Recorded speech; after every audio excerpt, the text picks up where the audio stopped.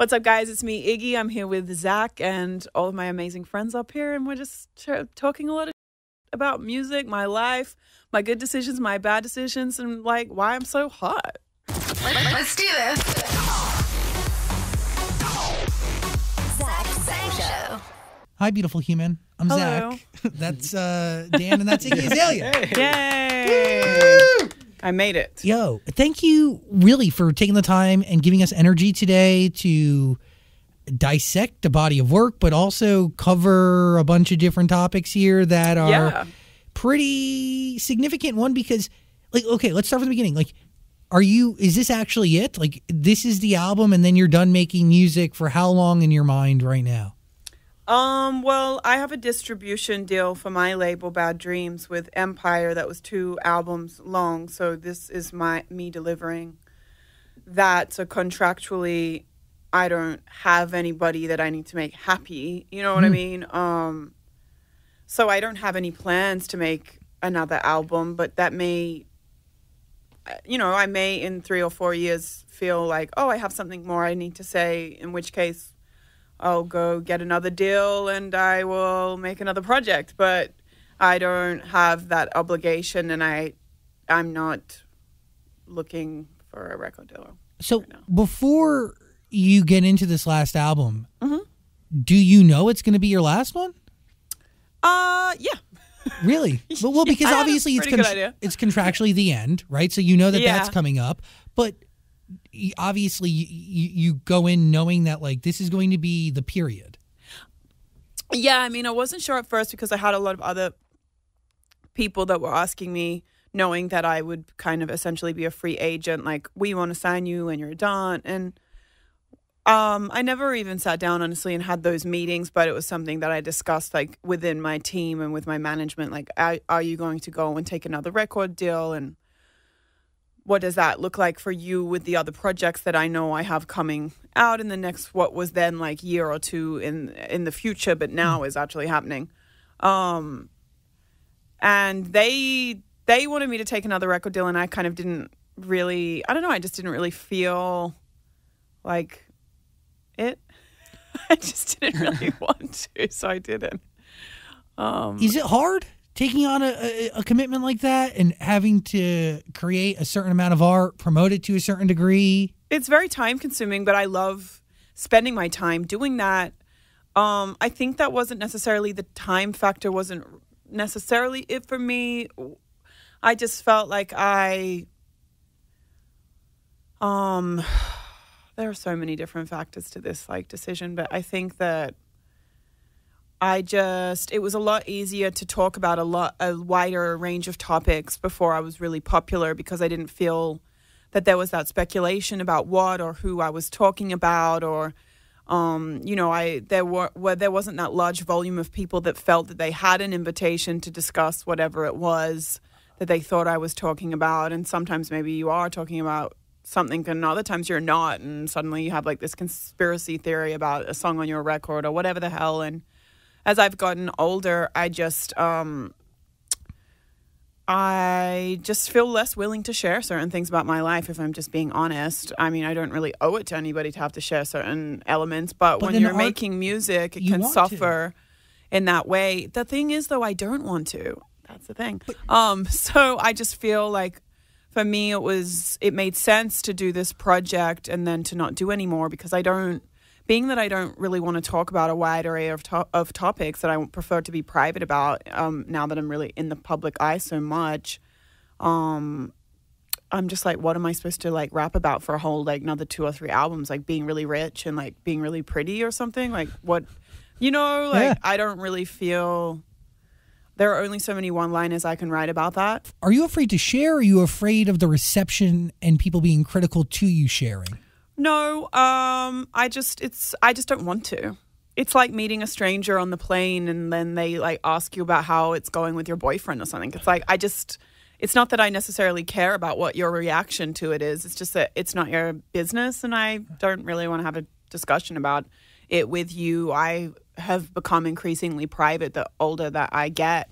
Um, before I just when I was a lot younger, I would just would probably tell the person sitting next to me on the plane Everything. what the inside of my looks like if I asked. You know what I mean? And it's just changed naturally over time. But this, I feel like, you know, one of our first conversations that we ever had was about this topic. And it was Yeah. about hip hop radio in particular. Really, I mean, being, to, to, just to be frank and kind of, it's too simple to say this, but being misogynistic and feeling entitled to really analyzing every lyric that you put out there and then grilling you on those actions. So, what forces you to become quiet though? What forces you to, hmm. to It's not necessarily, I hate the word force. It's just because lead you to it? I just, it's not even hip hop radio. It's just like the world is on the internet. And I don't want my life on the internet to that degree. The things that I get requests from even my own fans to want to talk about, it's just like, I have no desire to talk about that with you. Is this why you stopped posting photos of your son online? Um, partially, yeah, it has a little to do with that. Yes, it's just like I just don't, I just don't want to talk about that with you. so Were you honest in the new classic? Yes. yeah, Totally. yes, yes, because I I wrote it all before I was very famous, so it was really easy to do those things, and I didn't have that like snowballed effect of what we're talking about, what you're talking about, Zach. Um, and it's just like I don't know, I could breathe, and there's like a think piece about it, and it's just like I don't really care to discuss things with you that already aren't really things I feel like discussing with strangers. And I particularly don't feel like discussing them with strangers when I know that that that the level of speculation and like kind of always negativity or whatever it is that comes with it is not something that I find very enjoyable. And I'm just like why am I still why am I what what is the what's the functionality or where is the joy in this for me? You know what I mean? Like I don't have to make music. Let's just be real. Like I'm at a point in my life where it's like I don't have to do that. That's not like making me all the money to pay keep my lights on or something. You know, like I can I can opt out of everything and I'd still have a very nice happy life. So I'm really only doing this for my enjoyment.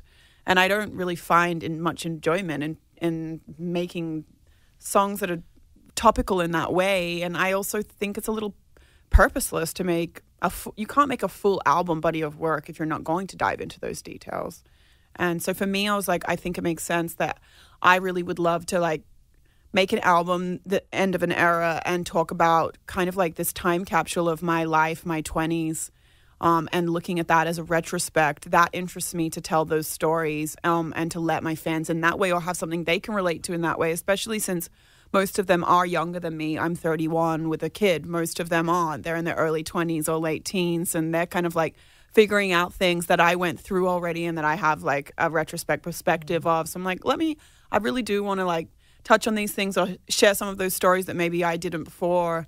And let's like, let's lay all that out there. That's fun and enjoyable to me, but I'm not to like make a song that's like dissing my baby daddy or something. Like, those are the kind of songs I feel like people like, really want from me. Like, talk about your trauma. And it's like, I don't really want to.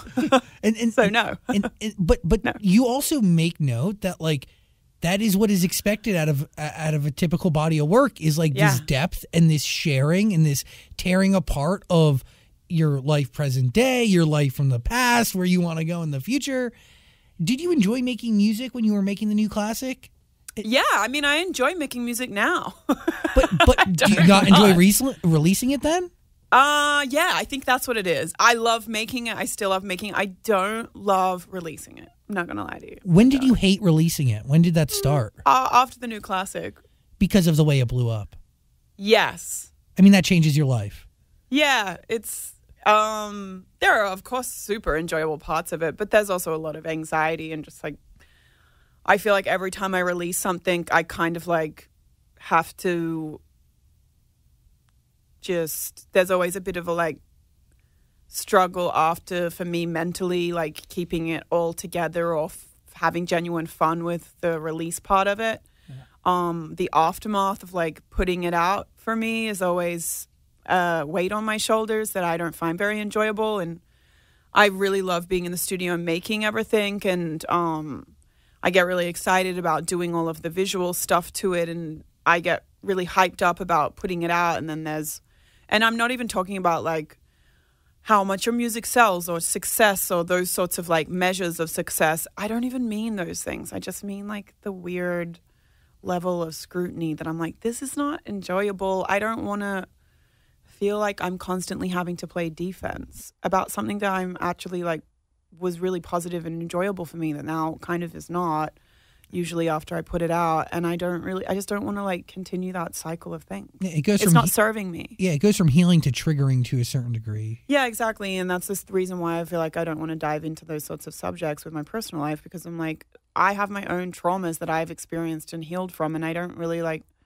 I don't really want to discuss them with strangers and have your opinion about them when, uh, you know, writing a song about it could never encompass all of the nuances of that. And I'm, I just don't want to talk about that with, with, with randoms. Random people. Yeah, Sorry. it's for family and a therapist. Yeah. Why do you think people still continue to hate on you no matter what you do? Mm, I don't know. Ask them. I'm not here to lay out. I I can't. I'm not a Reddit theory page. You know what I mean? It's just like, I don't know. I could go so deep into the hundred and one different things it could be, but you only they know. Why did you stop singing on songs? Oh, you know, I love singing, but I um I just don't really feel confident singing live. And I think if you're going to make a song, you need to be able to to perform it live.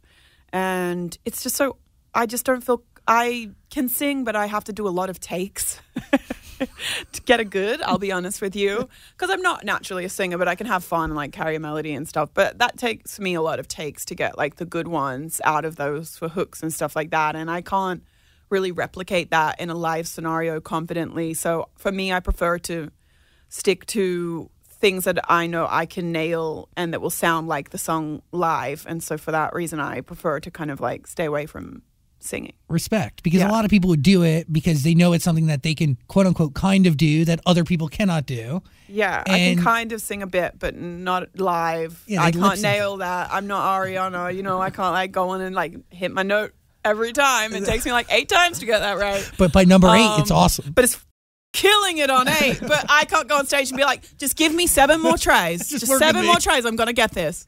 I've got it. Like I don't. I can't do it, and so I just, I just feel that it takes away from the live show. So I have my like teams and a few other songs like that that I that I do still have, but like I'm not singing those live. No, that's a dance break. It's like and me. I don't feel confident, especially when it takes me that many tries. When I am sitting there with my breath caught, sitting there in a studio, ready to go with my tea. Yeah, every variable Yeah. is like like controlled. I have a vocal coach like, no, no, no. Uh, uh, uh. You know, like I don't have those things. I don't have the perfect storm on stage. I'm probably like 45 minutes in. I've lost my breath. I secretly want to vomit. My pants have got a rip in them. Like, I don't know the dance move, whatever it is. I probably just fell over if it's a sh- one of my shows. And I, I, it's not the environment that's going to bring out some vocal f- performance. I mean, it would be memorable, but not in the way that I'd want. Um, so no, so I tried to stay away from that. have you have you taken time to look back on the new classic? Like, have you realized what made that album so special and latch on to people the way it did? I don't know. I've never really thought about that, to be honest with you. I don't know. It's Really? just sometimes the stars just align. I don't know. Well, I, I mean, I agree with that, but also like I listened to the new classic and the end of an mm. era back to back to one Oh, another. cool. Yeah, I thought it was a really cool experience. Actually, That's actually cool. I've never thought to do that. there's commonalities between both projects in terms of sonics to a certain degree. Well, yes, that's intentional. Yeah, so it's intentional because you're starting something and then you're ending something, but EDM and like dance music kind of trickles into a lot of the stuff that you've done. Yes, I love I love to experiment with different sounds. Obviously, But the the end of the era kind of leans pretty heavy on that EDM. sound. Yes, Yes. that's intentional. Definitely. What's in, why is it intentional? Um, because for me, when I was making this album, I kind of like broke it down into four sections for myself sonically, which was me at 20, me at 24, me at 28, and then me like currently at 30. And that's how I focused on things, um, like from a sonic standpoint of the production that I was utilizing. And, um, you know, in my early 20s, I wasn't signed yet, and I was doing a lot of mixtapes. Trap Gold being my favorite one of those, and they they played around very heavily with electronic sounds Um, and I hadn't really fully gone back to the that type of experimentation again, but that's always a project that I uh, say that is my favorite because it had it was very like fearless in those ways that it played around so heavily with experimenting with things that you don't necessarily always see with rap music. And so you know i tried to make the first quarter of my project really like um take a lot from trap gold sonically. And then after that at 24 i put out the new classic and that was more pop leaning and it had a lot of those bigger pop um, singing hooks. And so as you get into that section of my album, that second quarter of it sonically is really like leaning on that inspiration from the new classic. And then throughout the 28 portion of like the way I view my album, that third quarter of it is a lot more of the heavy 808 drums and hip hop elements. Um, and it's a little bit darker um, in that way that kind of reminds me a lot of 2017 uh, 18 19 you know i had survived the summer and i did um, in my defense and they were very like heavy hip hop records which i think for me was like kind of my rebuttal to a lot of people saying like you're a pop, pop rapper you're not a real rapper. And so i think for that reason maybe consciously maybe subconsciously i wanted to like lean in and be like no i'm doing all these really heavy drum like open rap! I can rap you, you know um so it like really gets into that and then the last kind of portion of the last three songs on that i think it's like sex on the beach day three miami and uh, good, Good times, Times. with bad people is kind of just like where i feel i'm at now within my sound not necessarily not really referencing anything from the past but just kind of being present in what i'm where i'm at uh now with like my sound and what i'm making so it was like kind of just like a retrospect of sonic things um kind of like a journey through my 20s But so if the three are where the last three are where you're at today, but that's not necessarily where you're going to be at next because you don't know where you're going to be in a couple of years when you choose to make music again. If you choose if to i do choose it, to yeah exactly so how does this project even begin? Like, how do you like? You obviously know you want it to be the last one. yes So do you go back and soak in everything you've done, or yeah i mean i i do every project to be honest with you i really do at the start of every project but that doesn't mean i necessarily draw reference from it understood? Um, but this was to intentionally, obviously, draw reference, and so is the music videos, and the, even my album cover. You know, is a nod to my first tour, which was Hotel Iggy, and it was very Scarface, Miami Vice themed, and so so is this tour I'm about to do with Pitbull, the um, Feel Good tour. My whole set for that is basically based on Grand Theft Auto Miami, so it's really cool. Um, but yeah, it all like has that element of like it's Miami Vice. It's bright, it's colorful, it's a little bit trashy, and the people are f- dying, and it's awesome. Because Scarface, everyone dies. You know, Grand Theft Auto, everyone's dying. So I love a good death. It's fair. I love a bit of drama in my music and visuals. I think people know that now. If if I'm doing a, vi- it's probably going to have a car or a dead body. Like I, you know, I go back to that a lot. I also feel like you you've manifested some in your lyrics. Like li- listening back to the new classic, "Impossible is Nothing" is like. Is that not how you've kind of you you proceed to live a few years of your life after that? Yeah, I think so. I mean, what an amazing thing! Just the, the title alone. Yes, I mean, I definitely spoke a lot of things into fruition on that album. For Are you are you doing that in this album at all? No, because it's a retrospect. So it's not, So it's not about- about the future. It's talking about, the past. Does that hurt Yeah. you to a certain degree that you're in a place where you're making music that is reflective of what you've done, as opposed to where you're at and where you're going? Uh no, because I just think that it's I uh, my fans, like I mentioned before, they're so much younger than me that for me to be talking about this is me or my child or whatever the hell, like I don't know that there's much that they could take from that that they could feel connected to, and I think that it's more fun and interesting to talk about like you know even something like um shut up. Like I'm just talking about a night that I did drugs with my friends and w- went out on South Beach and got in a fight with a girl. Like that's something that you might do in your 20s, you know. And it's like if I can give a perspective on it, whether it be slightly comedic or whether it's something like Day Three Miami, which is kind of like I actually made that song directly after Shut Up, even though it's not that way on the album. Where it's like, okay, I've been here. I've been like partying for a few days and now I'm just realizing that this is just like I'm over this. It's a mess.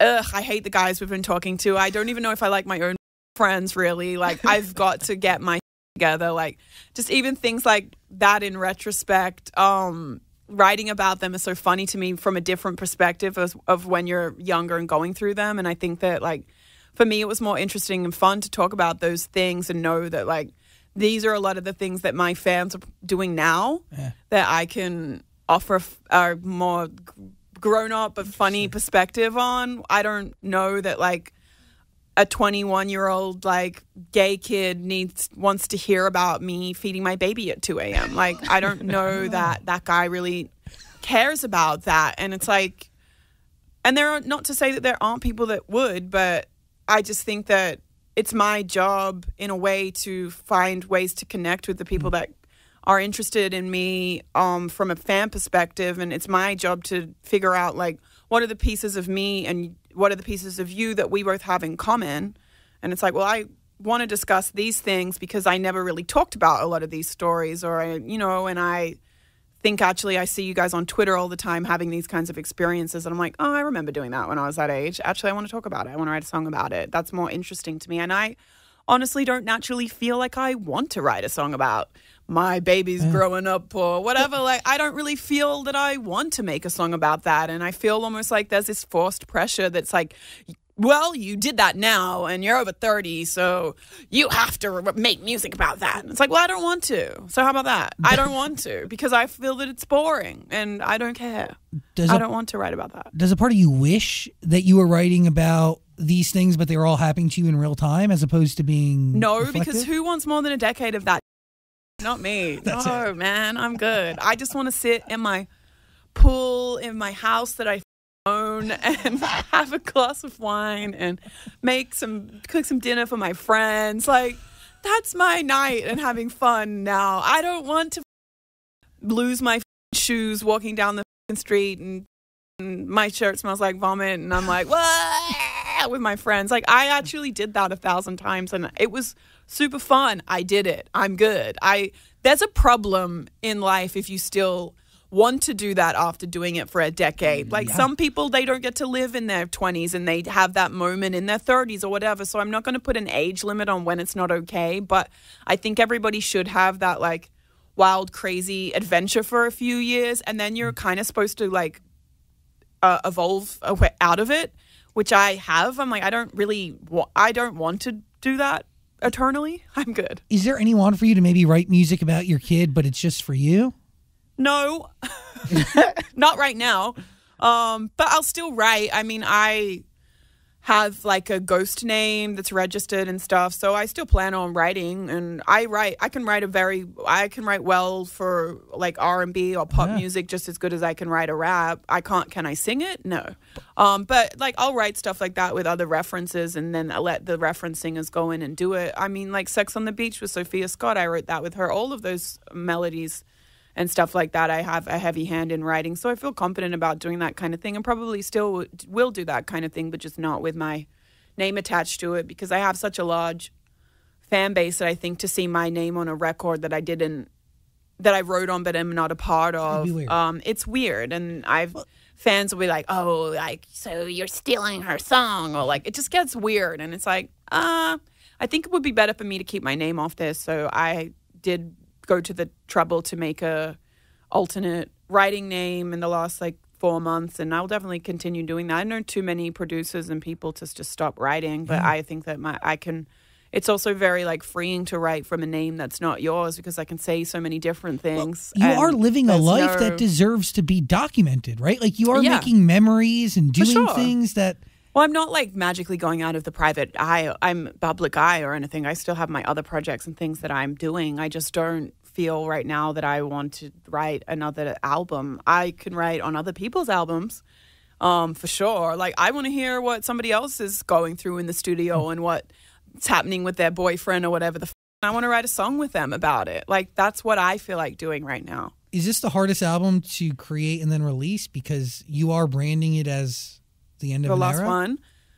Um, no. Whatever. some people will probably feel disappointed. Some people will love it, and it was kind of I don't know. I don't know. I don't ever really put pressure on anything in an abnormal way like that. I'm just like I'm. If I want to, if I'm not happy with it, I'll go back and make another one. But I am, so That's it, because you really are in control. yeah. How'd you know it was finished? I just knew that it was finished. I worked on it. I started working on it January 2000 and uh, 2020. January 2020, I started, and then I finished it. Mm, I want to say like May. The end of May was my last session. What was the last song you did for it? Good times with bad people. Good Times with Bad People. Yeah, that was the last song I wrote on it. Is it hard to get yourself in the mindset to write a song like Emo Club Anthem when you're not out there loving drugs in the club right now? No, because th- that has a little current inspiration too. um, not necessarily about being in the club, but I think that like when you you know, we're always disappointed by people and sometimes like when I wrote that song, um, I was like going through a lot of currently too and I was like, man, you know what? I don't even want to like talk about what I'm going through today. I don't even want to get in the studio and tell you all about what I had to deal with today before I got here because I just want to have like a good time and drink some wine and I don't even want to talk about it. And that's kind of how that song came about. I was like, this kind of reminds me of like when you're in the club when you're younger and you're actually having a terrible time. Um, but you're having the best time because you're probably really drunk on drugs and you're just like, I don't want to think about it. I'm having fun with my friends, but it's such a almost like forced fun. And you're just like, I don't care, ah, but I do. Um, it's like that weird juxtaposition that I think is really interesting. And so I just felt like I'd had such a day that day that I was like, I really have. So I want to write a sad song, but I refuse to write a sad song. I will write a happy song, but it's the most like passive aggressive fun song of all time. So that's what that's what emo club anthem is. Well, you did point out like there are no sad songs on the album. Is that done purposely? I mean, there are, but there are. Like, Day Three Miami isn't the best, isn't the nicest topic when you really listen to it. It's just like packaged up and fun. Um, and same with like, yeah, emo club anthem isn't like the funnest topic when you really listen to it, but it's very packaged up and fun. But Like, also, Good Times with Bad People. New is Year's really, Eve. I don't know if you heard the deluxe. That song is like a. It's a. This song called New Year's Eve, which is basically like you know you remind me of New Year's Eve because it's supposed to be this thing that you work up in your head to be so much fun, but actually is just such a f- disappointment. every time. Um, every time it just never lives up to expectations, and you're that person. You are the personification of New Year's Eve. It seems like a compliment, but it's really not. Like um, Who are you thinking about though when you're writing that? Are you thinking about a person? Are you thinking about a collection of people? a collection of people really when i write songs nowadays i don't just like focus on one particular experience. I think like when you have had a lot of experiences because you're a little bit older it's funner to write songs because you can draw from like you know you're like i got four different scenarios of that. You know, you draw from whatever's the yeah most and I'm relevant. like i'm just making like the mega villain. Like when i'm constructing songs it's fun though but actually, like because you have so much in your like mental archive of memories. got such a wide repertoire of I cannot draw on. Yeah. so good times with bad people. Yeah. I, I by the way, like hit me because it is a realization. Like you have party friends that aren't really your friends. Yes. You're having a great time, but they f- terrible individuals. Yeah. Terrible. And that's the song. yes. I, Exactly. A lot of that. core. A lot of that. A lot of that. Yeah, it's just basically like, look, this seems good while we're hanging out. But in oh. reality, when I wake up the next day, I hate these people. They suck. yeah. That guy sucks. And this is and I don't think I can give you what you're looking for. You know, like I think you need something that I can't provide for you or that you can't provide for me. And that's like essentially that song in a nutshell. Is that a realization that you're spent having good times with bad people? Uh, in the song? Yeah, or like I mean, well, obviously it's uh, you're looking back at events of you being with bad people, Yes. but yeah. having a good time. Yeah. But I think it was that like uh, you have to realize eventually that like this is the wrong thing you're doing. Oh yeah, for sure. I mean, I don't think I have those now, especially now that I have a kid. It's like I'm not really having good times with bad people. I think in the moment, it you know you're doing it a lot of the time. I don't know about for you guys, but for Yes. me, I know these people are. Yeah.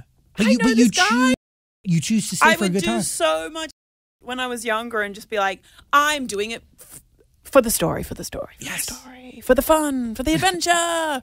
and it's like, mm, I mean, you tell yourself that, but then in retrospect, you're like, was it that or was it that I didn't want to be lonely at home that night? Was it that I didn't want to be with my own thoughts that night? Was it that I was bored? Was it, you know what I mean? Was I looking for something else and this, did they provide something else for me more than just a story like I was telling myself? Like, what? Was I the bad person in this scenario sometimes? Was I the person maybe that was being toxic at the time? Like, um, so I, I think like you know it when you're doing it, but then really in retrospect or as you get older or you understand your behavior more, you're like, mm, you thought that you even knew why you were doing it then, but it's actually even deeper than you even really knew. That's like what I'm trying to get at here is like you're learning new things about yourself from making this album because you're going back in time and re-dissecting things you've already lived. Oh yeah, for sure, and that was super fun. Like I really, honestly, I enjoyed this so much. This whole process, this album was a lot of fun. It was fun to like unpack all my favorite music videos, even or just songs that I love so much, and to really look at them and say, why did I enjoy this? Why do I like this song? Is it the transition? Is it the drums? Is what I was saying? Is it that it's experimental? Like, I just liked going mulling through everything and as well just being with people in the studio that I was working with the entire time like you know what about this jumps out to you because those guys weren't there when I made that stuff so it's cool having that perspective too That is cool to sit down with people and listen to your old stuff and be like, like, what about this jumps out to yeah, you, You yeah. know? What stands out? you weren't a fan or listening or whatever at that time really so cool. what do you think about does this what or if it's not special to you but it's special to me why is it special to me what is it about it that I like so much eh, you know, as I listen back to the new classic, I really one realized how ahead of your time you were, oh thank you and two, the album's so good and it's filled with so many hits. it does have a lot of hits I mean, anything after that is it's hard. Of course. That's It's- why they call it the sophomore slump. It's hard a- to follow up something that good. It's a blessing and a curse. yeah, totally. But you, I mean, even in the verbiage and the words you were using, Mm-hmm. like just about hanging out and the way you talked about friendships, and I mean, words that we use today in excess, but, Yeah. but weren't being used in 2014. Yeah, I mean, I don't know. I haven't dissected it that hard, but It had been so long since I had heard it that I like. It sounded like it could have come out that morning. oh, thank you. That's nice. Timeless, Thank you. really. Thank you. Though it was the new classic, so that's what I really was hoping that it would stand a test of time and not age like. So thank uh, you. You set a bar, and you I set was a trying bar. to set a bar for myself, and I did it better than I ever thought I could. I could never follow it up again. But also, you set a bar for everybody else, and I oh, think that should be understood too. Is like, dude, your flow, like to your point of like when your name is on a, a record, people expect your flow. They know your tone. They know a way a verse comes out. I mean, yeah, there's a big expectation when Yeah, I mean, I think that I I think I'm a pretty good uh, writer. So Are the- thank you. Did, did all the verses on this new album come easy to you? Was there anything that was difficult? No, honestly, there was nothing that was difficult on this one. Um, I had a lot of fun. I drank a lot of wine making this, and like I like to write my verses on whiteboard, and um, why. Uh, I don't know. I just like having it on. I like to have a whiteboard on my lap. Okay. Um, like I like to be in a computer chair that has uh, what is it called? Armrests, Oh, so oh, that so I can put. The, I like to put the board on the armrests. And like one that's about the size of a flat screen TV, I, I like to put it on the armrest so I can just lean on it and I write on it and I scribble on it and I write all my verses that way. And um, And that I don't know. whiteboard makes it into the booth.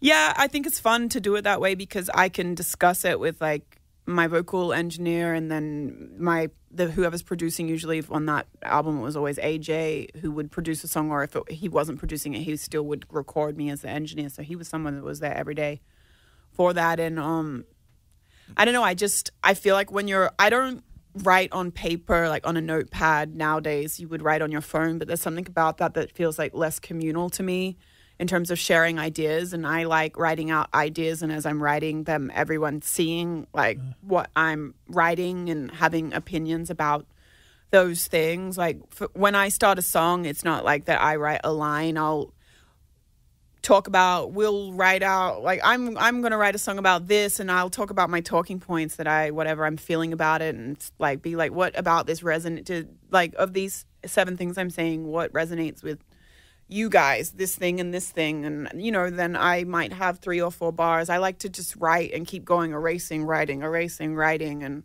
Have you always fun. worked that way? no, I haven't always worked that way. I really started working that way on in my defense, and it just I really love to write that way.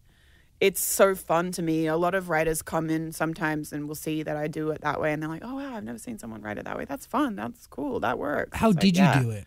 I like that other people can come and write something that they want on their board for me to see, or uh, but we'll see. You know, how did they work? How did you do it before the whiteboard? Um, before the whiteboard, it would be on my phone Got it. on my laptop. And I would do that a lot too, like writing on my notepad on my laptop and then showing someone, and then maybe they change something or we go back and forth sliding it across. But I think that it's better to, for everyone to be able to see it. I have so many pictures on my phone. Like after I'm done, I'll just take a picture of the whiteboard That's cool. and then just go in and read my picture on my phone. You know what I mean? Um, it's annoying having to write the lyrics after the fact 'cause I'm like, I've got to go through all these whiteboard pictures.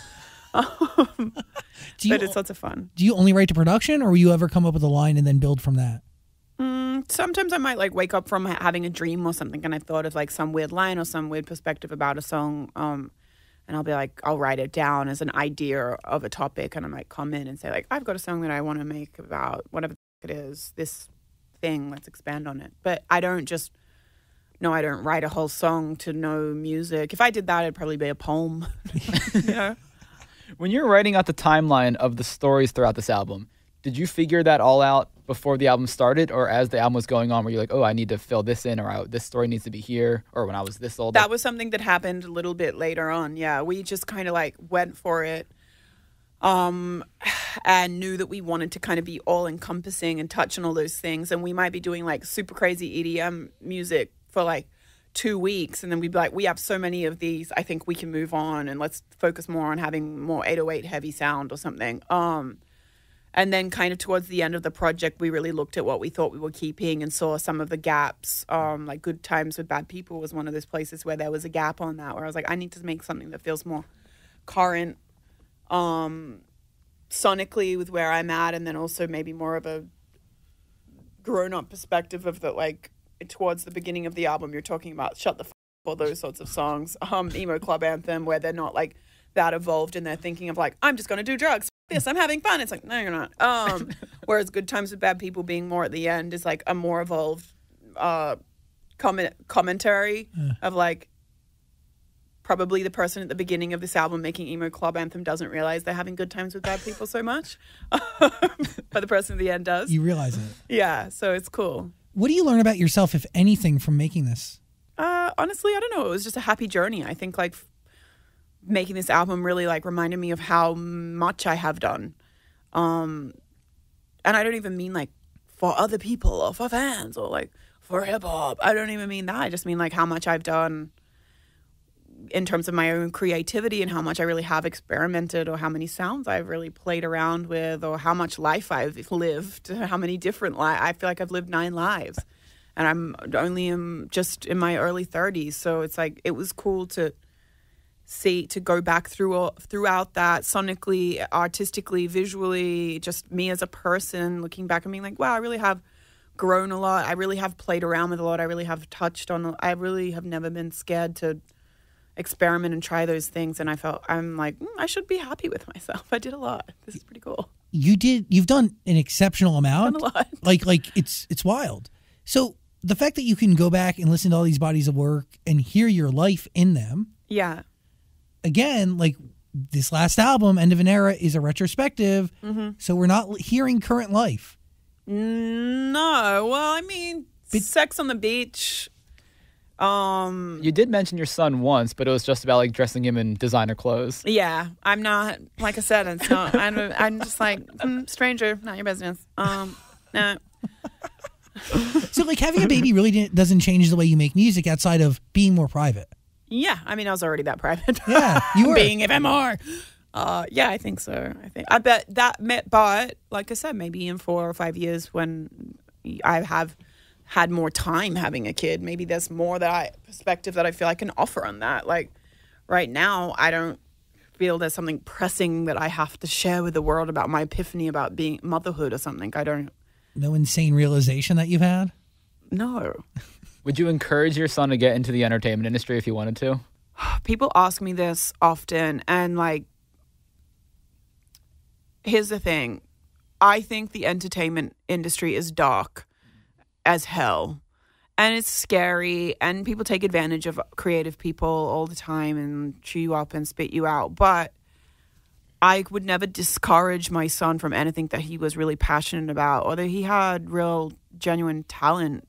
Um and so if he ended up being talented as a musician and that's what he wanted to do, then of course I would have to help him as much as I could and offer my advice. Same with his father, really, you know, but it's just like, and I think he shares the same sentiment with me about that. That's like, if he wants to f- be a landscaper, he can do that. If he wants to be a athlete, he can do that. If he want, whatever it is, if he want, if he li- likes biology, he can wants to be an engineer. Anything like I'm hundred thousand percent support whatever it is that my son likes to do, even if it's something that I'm like, ooh, that's a little scary. Like you know, I can't let my experience or my like trauma or taintedness within that like um bias make him not be able to have an experience at all because it's his life to live. I just have to be my job is to be supportive of him and to like build his self-esteem and help him do whatever it is he wants to do, really. So there is no off-limit job that he cannot have. Totally. And, and by the way, that's the role of a mom. And at the same time, like, the industry could be dark, but it's also given you so much. As Of course it has. I mean, my life is amazing. Like no complaints about it. It is don't mock my words. It's amazing. Um it's the it really is. So uh, there are no complaints, but it is like I think it's uh there's a lot of like uh things you have to overcome mentally with any kind of high pressure job though, not just music. It's music at this level is a lot of pressure for anyone. Sports at that level is a lot. Running a company at that level is a lot. So it's just like I think in success comes a weight of responsibility that you have to carry. And for me, I feel that way or jaded or I'm saying this about the music industry because that's what my profession is or I'm one of the best at my profession. But if I ran the Walgreens, you know what I mean, regional location of all those stores, I'm sure I would feel that that same pressure in a different way. So it's like for that reason, I don't want to say like you can't do that. It's like you can do whatever you want. It's been great. There's, with great success comes great responsibility. Amen. Peach body. Is that describing you? Um, I What guess hot, sexy. I'm a hot, sexy. So yes, there are the hot, sexy in this world too. It's for you too. Thank you so much. You're welcome. I think I have a peach body. Well, I did want to. Speaking of bodies, why is it important for you to open up about what you've done? Because in Brazil, you said pay for this body, and none of it's cheap. I mean, I've never not talked about my plastic surgery. I'm on the cover of Cosmopolitan talking about my nose job. Like, I've always talked about that. But we don't want to share, right? I mean, I don't. I'll give you a little one-liner here and there. Don't ask for the f- name of my surgeon. You're not gonna get it. Do your own research. But your nose might not look like my nose after that. But It's true. you know, I don't, you don't, I didn't magically sprout tits at 25, you know, like I think we all know what's going on here. Um, so yeah, I'll touch on it for a little hee hee. But other than that, my business, basically. Well, now I feel bad asking about the one-liners. Oh no, no, ask away about the one-liners, but there's not much more to them other than that. Like I like to have a little joke about plastic surgery in my real life too, and um, and so yeah, I'll put it in my music as well. There's a lot of funny things to say about that, so why not? What else you got over there? Oh, that was uh, now. That's, that's the only one liner you have ready to go? No, I've already talked about some other one-liners. yes, my son wears designer clothing and I have fake boobs. Well, because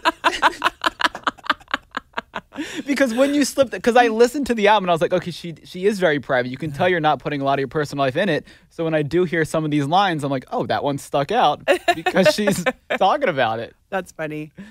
when you are so vividly explaining your life, it's obvious. You know what I mean? Like, and the new classic, like, it is that. Like, dude, love, goddess, like, Jesus. I mean, even in my defense, like, that was ripped from reality to a certain degree, right?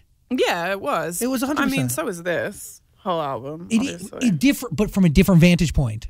yeah, from a different vantage point, exactly. And that is why the end of the, uh, the end of an era is pretty unique. 14 songs on the not deluxe. What are we doing on the deluxe? 16, 17? I think it's 16 or 17. There's one song that I'm like, I don't know if you're going to see the light of day. Um, Listen to the end of an era. We're going to put a link in the, in the description below. yes. Um, uh, we we touched on emo club anthem. I had that on my list. Pillow Yeah. fight. yeah. I mean, did you actually have a pillow fight? No, Or- pillow fight is like not. sex? That's more so like I think sirens or pillow fight. Those uh, really Brazil. Oh my god! Did you see what I deal with? is it a friend? No, I wish it was. It's not. Uh, a lover? No, I don't have a lover. Really? Yeah, I really don't. Is that healthy? I think so. It's better than having a one. I yeah. I mean, hey man. yeah. You- I think so. Yeah, having none. I mean, if they're none of them seem wor- worthwhile, then yeah, having none seems healthy. I think.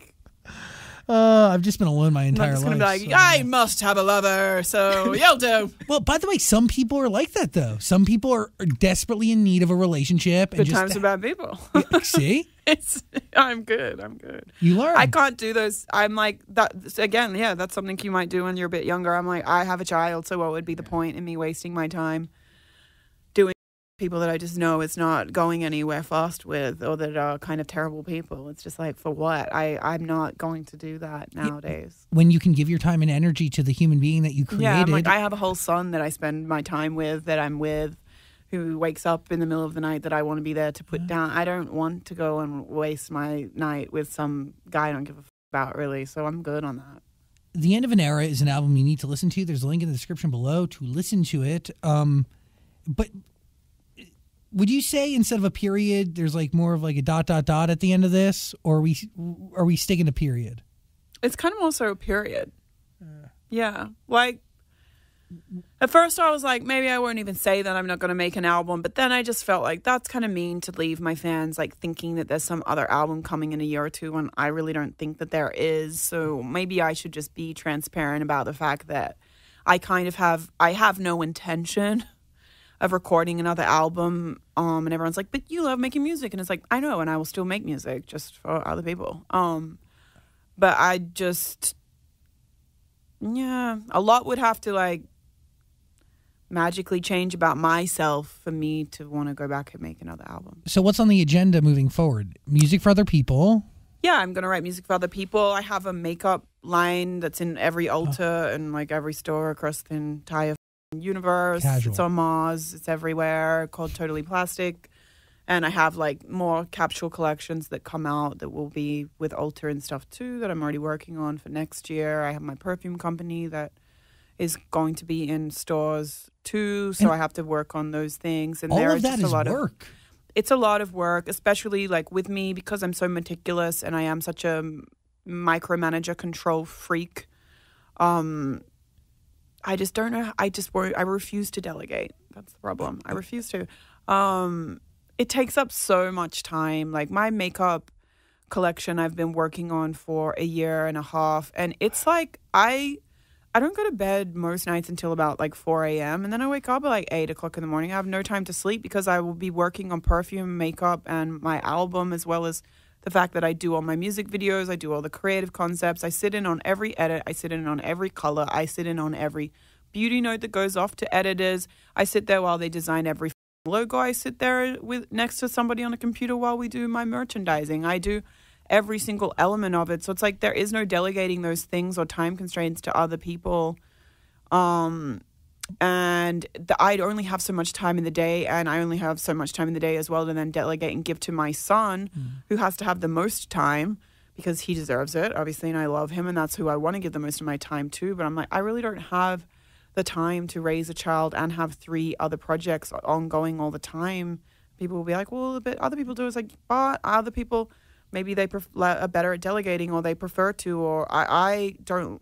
Or don't have a kid. Yeah, I just I like to I need to be that involved in something for me to be happy to put it out with my name on it and these things are always conceptualized like with my own ideas and I like to see my own ideas through. I don't really like to hand them off to somebody else and say, "Okay, go on, it's a relay, run across the finish line." Like, no.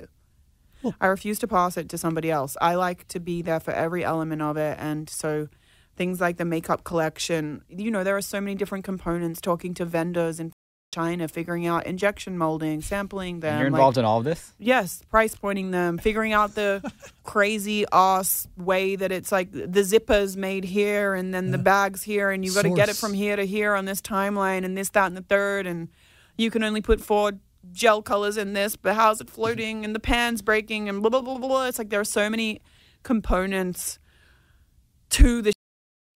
Oh my god! It would you like you just don't sleep. I have feel like I haven't slept for a year and a half. Um, and You've been like this for a while, since as long as I've known you. yeah, yeah, exactly. And it's like um tiring but fun. But like I can't be that overworked for that prolonged amount of time because I find myself to be like mentally exhausted honestly that sometimes I'm just like I can't even think because I have so many things that I have to do and I you know, someone will call me and be like, just like the other day, they're like, you are going to do the cover of this magazine. So think of the creative concept for what the photo shoot's going to be. And it's like, okay, well, give me five seconds because I have to do this, this, this, this, this, this. I have to get all of my deliverables for my Ulta banners done. And I've got to make sure that I have the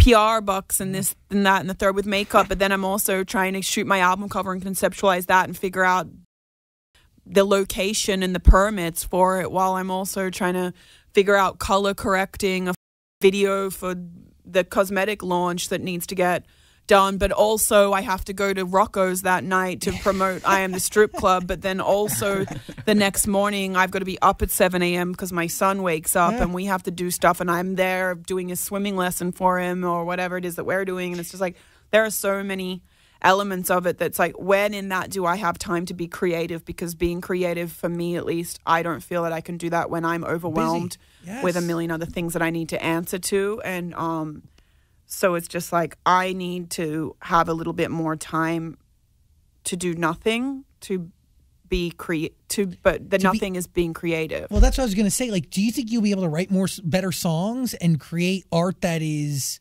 I mean, I don't know, more in tune with you or more in tune with somebody else when you have less going on and less noise coming in and out?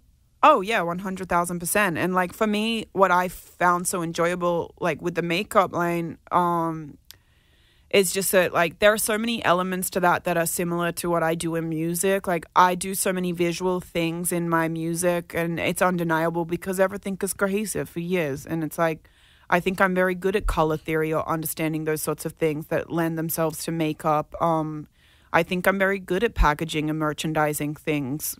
I know that people will shit on me like, if I only her music was as good as their packaging, and it's like, well, Yeah, but it's all together. Like the aesthetic it's brought you to the music. Yeah, exactly. But my, I think I'm very good at those things, though, and they do lend themselves to, particularly to any kind of prod, product merchandising that you're doing. Particularly makeup is color based, so I think that it was good and fun to do that. And I think that like there's a certain degree of like transformational purpose quality of makeup or ridiculousness that comes with that that I love and um I love having a big theme. I think everybody knows that about me. I like to take from music or m- movies into music or I love the big escapism. I love all that. So like it's been fun to bring those elements to to um to makeup or to something else and I'm like, wow, this is like a lot of the same thing packaged up differently and this is really fun to me because I can only I am only me in music, obviously. I'm only talking about my experiences in music. There's only certain parts of my personality necessarily that people really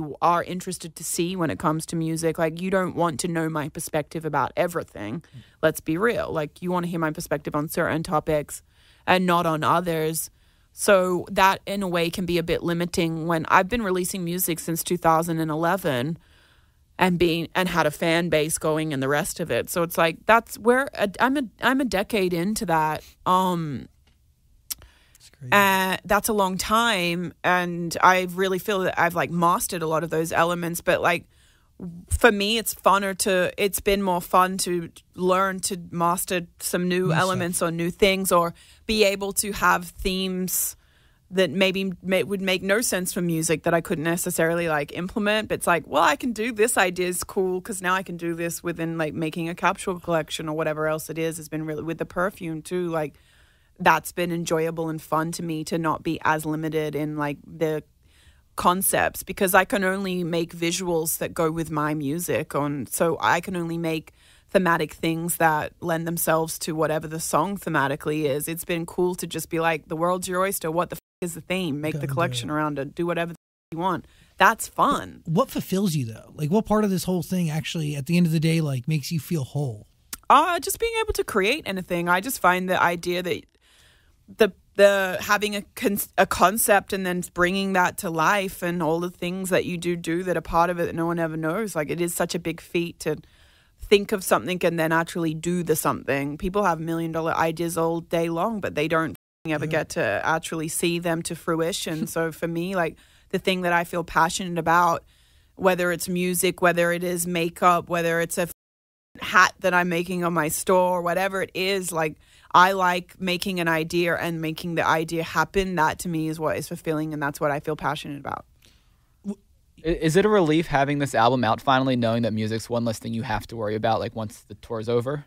Um, in a way, yes. I feel I do feel kind of like a weight off my shoulders in a way, but I think that I feel that every time I put a project out, like uh, Yeah, but every time because a- there's so much stuff to do, and then when it's finally done, you're like, oh, You can breathe. But every I can time, breathe. but every time you put a project out, you kind of know in the back of your head there's another one that's gonna have to come. Like this one is, I might be done. Like this is it. Yeah, I mean, there's a good. It's a good feeling to know I don't owe anybody.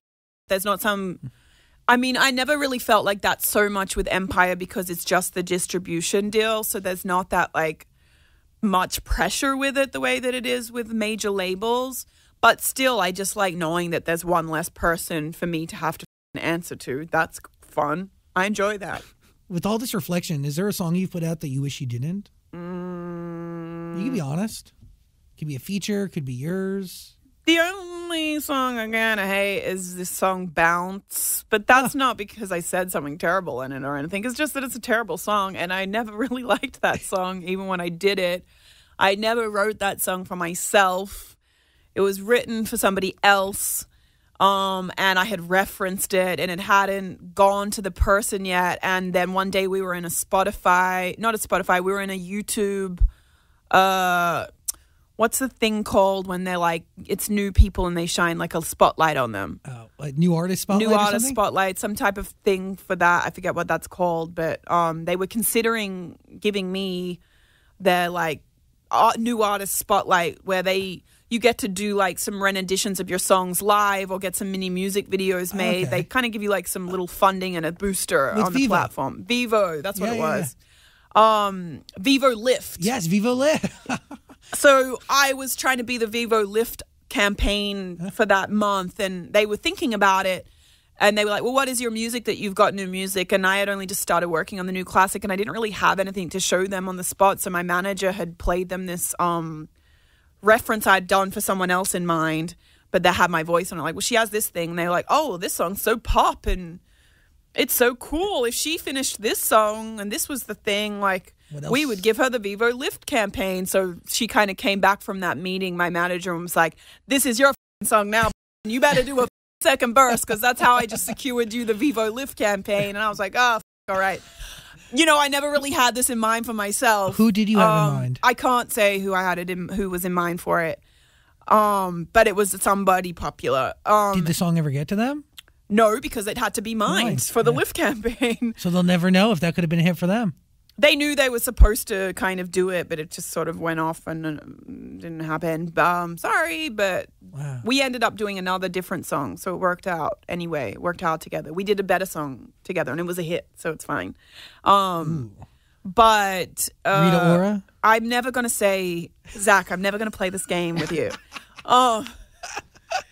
But that's how I ended up with a song that I never really felt was for me because the intention never was for it to be Yours. for me. Yeah, so I always have felt funny sitting with that song. It's always felt a little bit funny for me because I never felt like it always felt like this was never my this wasn't my song. You didn't I don't make it for you. it's not me. It's weird, but at the same time I don't hate it because I do think getting that Vevo Lift campaign was a pivotal mo- Mm. moment for me in helping me to break out and helping more people to discover me. So if it was doing that song or writing that second verse to that song that I do think was very pivotal uh, pivotal um you know that's the trade that's the trade-off. That trade-off was well worth it. But that's the one song I would kind of delete because I just don't feel that it was ever for me. Is there a song that had the most impact that like it, when you look back you're like this one changed my life and everything was different after this? well of course you could go and say fancy but for me I really think it was work. Actually Okay. that's the song I say for me is that song for me it's work a lot of people Why? say fancy like why for why is the different what is it about work for you? Uh, for me, work's just the perfect song. Um, it's biographical. It's has a lot of lyricism. Um, it's got great cadences that are unexpected. It changes between hip hop drums to full EDM break. But is it Um, it's got great transitions. Mm, I am a. If you don't know, I'm a whore for a transition. If you can't tell, if you go back and listen to all my music, you'll know I'm a super slut for transitions. isn't that the magic? Like, w- there's many things that you do that's magic on a record, but I do think that there's something to that hip hop EDM combination, and I Yeah, I think love it. It, it polarized people. Yes, of course, of course. You- I, but that's what I love. I love to polarize too. Well, because the freaking verses are so good and your flow's magnificent. I think for me, that's why I love work so much. It has all of those elements, and I just, I felt really accomplished making that song, and um, I think that it got a lot of people's attention. Like, well, maybe she does have lyricism, or maybe she can make a song that's catchy, or maybe she is gonna like push things um, to somewhere that's un- an unexpected place. Um, and it's just over time I don't get tired of performing that song. I love Fancy. It it changed my way more from a monetary standpoint or in other ways with fame, but I think like work is a song that creatively pushed me forward and that I feel really like proud of. Um, I don't necessarily feel proud of Fancy from a purely like creative standpoint I get that. if that makes sense. Like, I'm proud of it because it changed my life and it was amazing. But I don't feel like I don't look back at Fancy and think like I'm so proud of that. That was such a like amazing piece of work. Is it Like, because I think of that about work? Is it because it's so simple, fancy? Um, yeah, and just like I know that I don't think there's much lyricism in Fancy. Um, but that's not the point of that song. That's it. Every song's point isn't to be lyrical or every song isn't to be biographical. I think Fancy, what's great about Fancy is that it has an incredible amount of hooks packed into one song.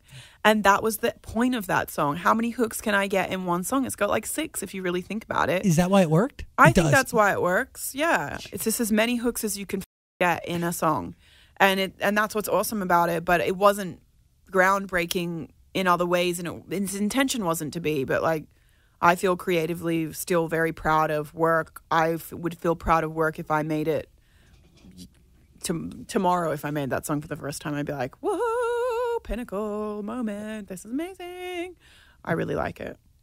Is there a feature you've done that you thought was challenging and transformative in a way? Because you wrote your own features. Yeah, of course. So, I mean, they all have to be challenging because you're working with a, a, a wide set of personalities. Right. Everyone's different. Right. I don't know. I've done so many random features. There, there's not one feature that I'm like, whoa, that's the one. The only one that maybe sticks out for me was problem with Ariana Grande. And as much as I love Ari, I really do. The reason why that sticks out wasn't because of her. It was because of Max Martin. Hmm. Because Max Martin is my, my top three songwriting heroes and I had like, you know, listened to his anything that he would write or have a production credit on. I would listen to, and he was kind of like always this fantasy writer that I was like Max Martin. If you could ever write a song as good as Max Martin, Max Martin, Like a lot Wizard of of people. Oz. He is the Wizard of Oz, and a lot of people that are in the write music or are interested in that would understand why I'd feel that way about him. And um, so like with Ariana and that song, the fact that I got to that was the first time I got to go in and meet Max Martin and to be able to write a song in a room with him. It was it was a very pivotal moment for me where I was I like, holy, like I've talked about Max Martin for years and years and years as one of my songwriting heroes, and now I'm sitting here and I'm writing a verse for Max Martin. This is amazing. So like that was a really like pivotal pivotal moment in my career where I felt very um validated that I was a good writer because I was in a room with Max Martin and he wasn't helping me write something. He was just like, do this. And I was like, okay, I've got to f- do this. Did he give you any notes? No, he. I just went in there and I said it, and he was like, "It's great," and that was, and I he didn't, he liked it, and I was wanted to absolutely piss my pants about it. I'll never forget. He gave it to me, um, and he let me put it on my phone. He gave me some headphones, and he made me sat, sit on the patio, and I did it and ate my lunch and went back in. and was like, mm, I was really nervous to record it because he didn't know what I had said. It was a different. Usually, when I do features, I do them in my own recording environment and mm. send them back. I'd never like with Max. It was different because he's a big important person. So it was like, you will come in here and you will write. You'll you'll go to Duhini Yeah. probably, right? And yeah, it was. I know the courtyard you ate lunch in. I yeah, it was like, okay, so I'm on the spot here with this. I don't have like five hours to sit around That's mulling it. around taking my time. I have to go and do this. Like, I'm hearing the beat. I have to do this. It was a lot more pressure. It was a different way of writing. And now he hasn't heard what my lyrics are. I'm not like saying this song to him in the studio. Like, what do you guys think? Which is still how I work now, like I said, with the whiteboard, where I'm like, ah, what do you guys think? Collaboration. Da, da, da, da, da, da. You like that? Yeah, let's move on. Let's keep going. I'm going to keep writing more off this. You like that part? Okay. Eh, it's a little weak. All right. No, we'll do this. We'll do that. What do you think? Ha ha.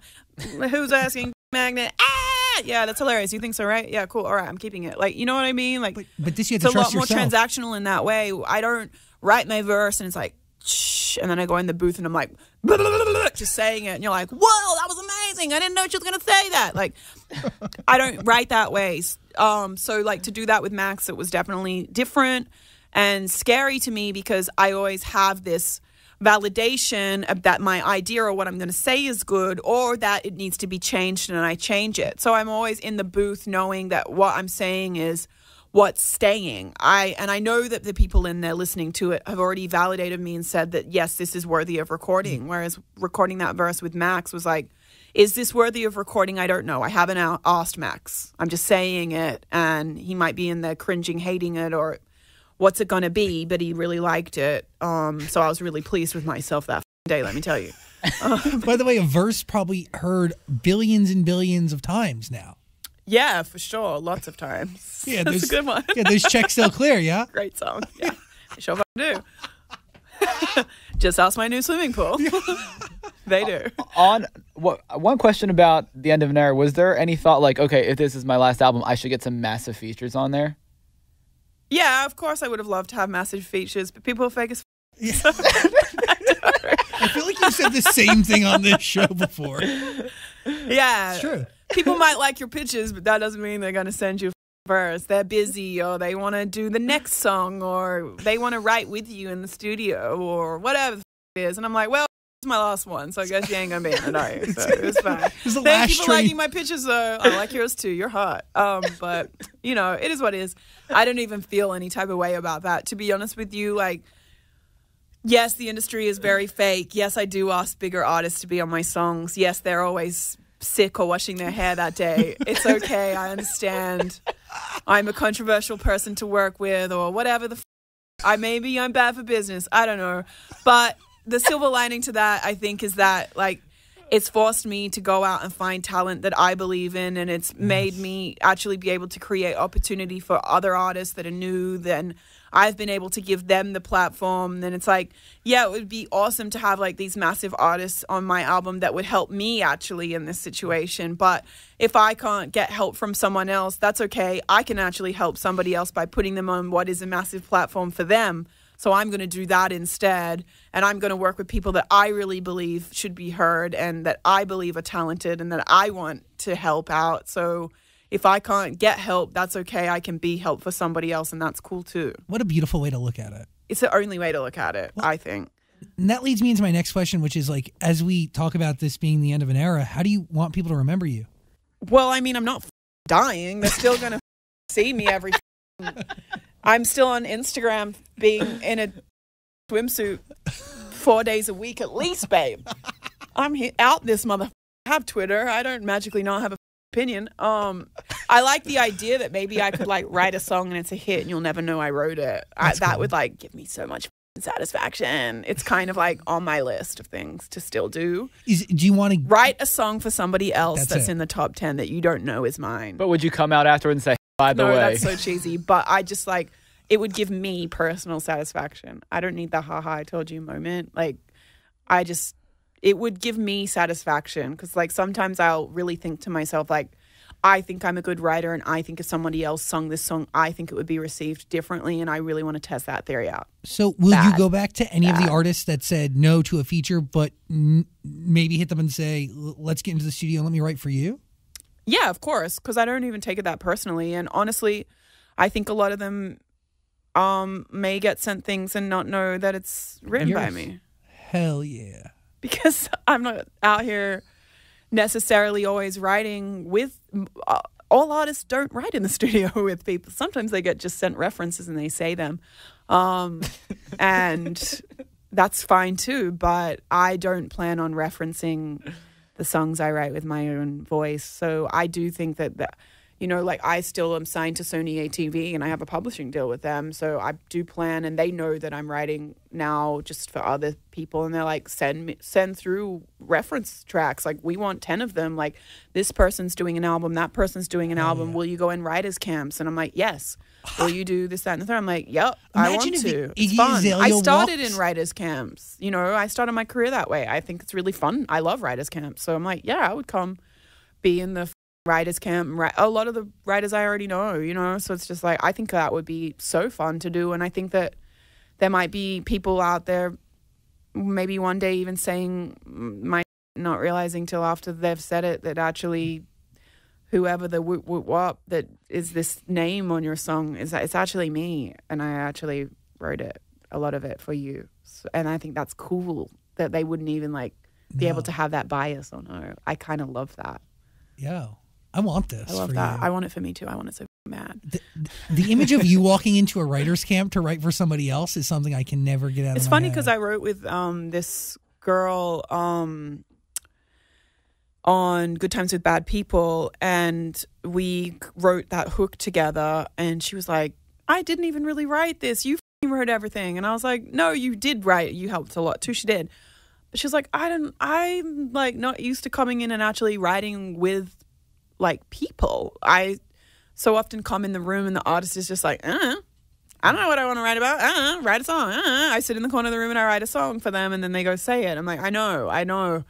So like, there are a lot of people like that that are, I've written like with that now are like, we should write songs. We should make whole beat packs together. We should do ten of these songs and go send them out to all the girls that are working on their albums and see what they want to do. This would be really fun. So there's a lot of that happening for me at the moment now too, where I'm like, yeah, I'm ready to do this. I just haven't been able to really get into it because I've been finishing up so many things for myself that I'm like, you know, next year I would love to spend a couple of days a week just going and working on other people's projects or having my friends that are in town like, hey, I'm in town for a week writing for this person and that person. Do you want to get in and like do some writing sessions for them, see what happens? Like, yeah, I really want to do those things still in my career. I started out in writing camps, like trying to write songs for Keri Hilson's album that never ended up, you know, getting placed on there. But that's like the writers, big writers camp that I got into that I was like, whoa.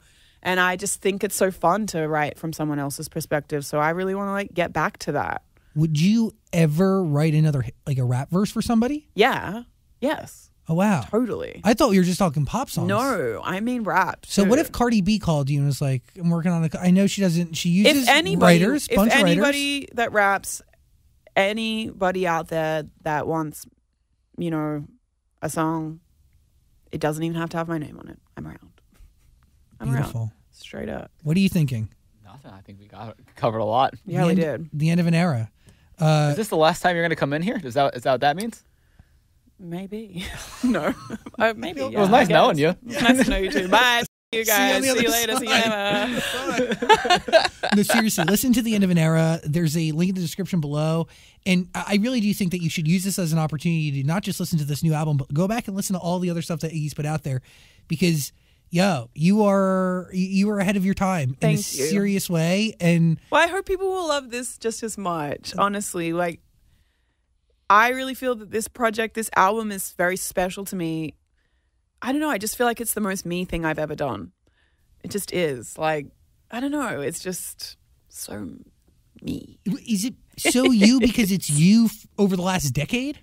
Yeah, maybe like in my defense is me, but it's a portion of me. All those projects are a portion of me. I've never like compiled them all into one thing to where you're like, this is really like an album for me usually is me fo- like hyper focusing on a small bit of me and expanding on a small bit of me whereas this feels more like these are really all of the things that I love or a lot of my thoughts on it's all like wrapped up in there. I think Day Three Miami is really my favorite song on that album, though it is. Stream that song, stream the album. I Link in the Daydream Miami. description below. Iggy Azalea, everybody. Hey. Love. Um, thank you. Glad to have gotten to talk to you before I, you know, stop existing or whatever it was that you guys were saying before I go. Just poof into the atmosphere. this album comes out, you just vanish. Yeah, I'm like, I'm still around. I mean, I might do a verse or something. I might feature on some songs. and, you, know, you know- who knows? Maybe I'll, but I'm not. Featuring I'm just not signing. money. A, I'm not signing any record deals. Smart. I'm not. No, Why I would, don't want to. why would you? But also, you have the means to do it all yourself, and you can release your own art if you want. Like you can, Yeah. you can do whatever you want. Yeah, right now I just want to do other for at least a good like year or two or three. Uh, Yeah. There's too. There's not enough time in the day. Because you can, you should do it. Because I can, I should do it. It's like a lot of people have to make music until they're 60 because they're like, this is all I can do. It's all I, this is, I have to do this. What else will I do? And it's just like, I don't want to get into that space in my career either where it's like, you actually have to make this even if you don't want to. It's like, I don't feel like it makes sense for me right now. And there are other things I can do that I'm super creative, that I'm excited to do. And so I- I would be like playing myself to continue to do something that I'm not like 100% um, present in or able to like 100% feel comfortable partaking in right now. Like to do that and leave these other things on the table or not give them my full attention. And then later on in life, I'm like, well, what else do I do? It's like, well, you probably could have done this or this or this or this, but you never took the time to like to to bother developing those things or to get better at them. It's like I don't I don't want to be I don't and also I hate touring. But it, it's a long Yeah. As process. you're about to, as you're about to go on tour. No, but I love it's different because that's the last this is like the last hurrah in a way for touring. So mm. I'm hype as f- to go on the Pitbull tour because I'm like I get to live it up and then I'm going home. It's only a 2 month tour. Usually for me touring or at a certain point in my life touring was like I'm spending 30 days out of the entire year at home and then not 30 days in a row. Yeah. And I'm having to sacrifice my relationships with people. I'm having to sacrifice moments with my family now that that involves a child too. Or I'm homesick. I'm tired. My body's over it. Like, mm. I want to lay in my own bed. I want to. You know what I mean? Like I feel that I sacrificed a lot of that throughout my 20s to, with touring even though I do actually The funny thing is I love being on stage and I love like live stage shows and meeting the fans and stuff, but it's getting to and from the shows and the brutalness of the travel element It's of hard. touring. Well, it, it ruins your body. That's what kills yeah, you. that I'm like, I just don't want to do that anymore, mm-hmm. and I don't want to do it with a kid. I love the idea that I can go on this pitbull tour, and it's only two months, which is not brutal in terms of a schedule when you've done it for so long, and then. My son is coming on some of the funner moments of the tour, but I'm keeping him at home for the more brutal road elements of yeah, it. So are you gonna bus it? Yeah, I'm bussing it and then jetting in certain parts. But um, Well, that's like you know my like I, that's the only way to really do it is to jet, but then you have to plan the tour appropriately, and then it's need- not possible to jet the whole time. That's No. the thing. Well, Yeah, you there's got- some or- parts that you just have to. First of all, it's expensive, so your margins get, and the planning is exceptionally hard, and it's almost like why. Well, like, and with me too, I'm like, I have a baby. My ba- my son still sleeps in a crib. I can't put a crib on the bus if he's awake at 7 a.m. and the bus still is driving for six hours. He doesn't have enough balance that he can be running around on a moving bus like an adult does. So then what? Is he sitting in a seat for eight hours trying to get to the next location? Is he mm. having fun doing that? No, he's not. A jet taking off and Wow. landing, that's going to wake a kid up. Then he's awake in the middle of the night because we went somewhere on a jet. That's not, it's not fair to him. It's not enjoyable for him. So I have some points in the tour where there are hubs where I'm like, he's based in Houston and I'm going in and out every night and I'm here with him, seeing him though and coming back so that he's not being um Neglected. transient. Yeah, but he's still seeing me.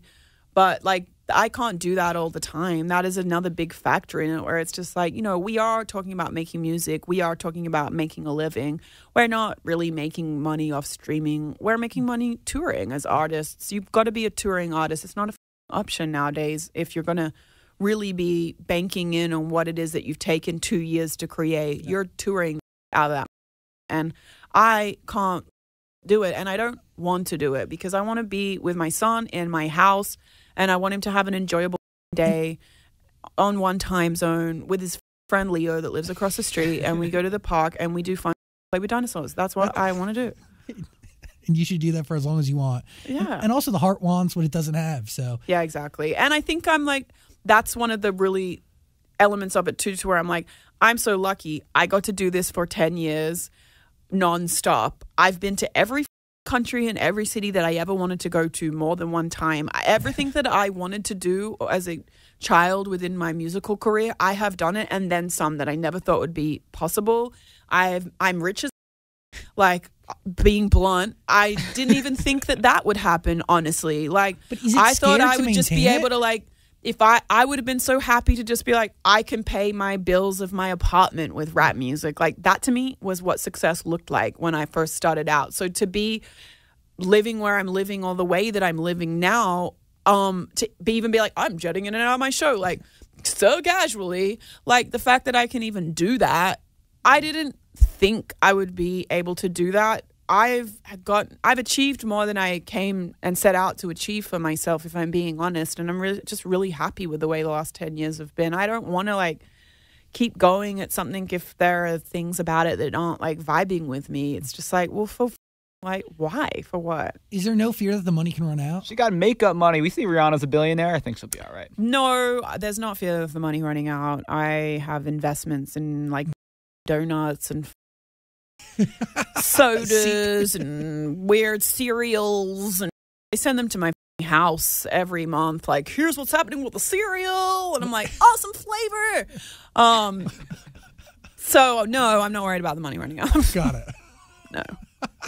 I have money in that you I, I'm would probably never even know about. Yeah, I'm probably using that I don't it. even know. That I'm like, oh, what? cool.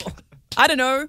The guys tell me like I'm really lucky. My manager is a really smart businessman, he has like I'm like his vet. I'm like his passion project. He doesn't even. He's always like, I don't really make that much money off you. Honestly, I just like you, and I'm like, I know, I know. You know, he does other products and is invested in brands and things like that. And I've seen him be so successful financially and so secure financially that I, when I got a little bit of money, I was like, can you just tell me whatever you're doing? Can you just do it for me too? Like, Smart. if you're putting 400 grand in that, could I put 100 grand in that? Because I don't have as much money as you, but like, could I be, could I piggyback off your good decisions about? He's like, yes. So like he just will come to me and be like, "This is the thing that I, we're doing. So do you want to put two hundred grand in this? Because you should." And I'm like, "Yeah, I trust you." So I just trust that he has really sm- he's really smart at stuff like that and I just do what he tells me to do and it seems to work out. so that's so it's all about who you know, I think is the lesson in that. Like sometimes it's not about being the smartest person in the room as you they could say it's about just knowing who to ask to get the answer or to have the ability that to acknowledge that you don't know the answer and like I don't know that much about business or I'm not some like person that has such vision that I can identify brands that are going to do well or something. But I know someone that I think has that vision, and he his life sure does seem like he's got that vision to me. So and take my money. so I just give him my money and yeah, be like, do whatever you're doing, do whatever you're doing, do it more with my money. Even my mom came to me and was like. Do you think he could take my money and just do whatever you guys are doing? And I'm like, yeah, we could probably do that too. Yes. So like, it's all about who you know. I think like if you ever want to do anything in life, whether it's investing something or if it's something creative or whatever, like if you don't feel you have the scope of the vision, like just make friends with people that you think do or that you look up to or that you admire. Like make friends with those people in any element of life that you want to succeed in. And if there's something that you feel you're lacking, find people that you think like can deliver what it is that you need and like follow their advice. Just don't always try to come up with your own and like I have faith in people in those ways. I have faith in myself creatively and my creative vision, and I have faith in other people in the business endeavors and other things. And so, no, I don't fear that the money will run out. Yes- okay. I love you. Thank you for being here. Thank you. You're yeah. amazing. I feel like we said goodbye 700 I times. did. Hey, beautiful human. Thanks for watching our full interview, but I get it. Like a full interview is a lot. So we got a clips channel. We don't expect you to watch the full thing anymore, so we just gave you the highlights. Please subscribe and uh notifications and all that stuff. Okay, cool. I love you.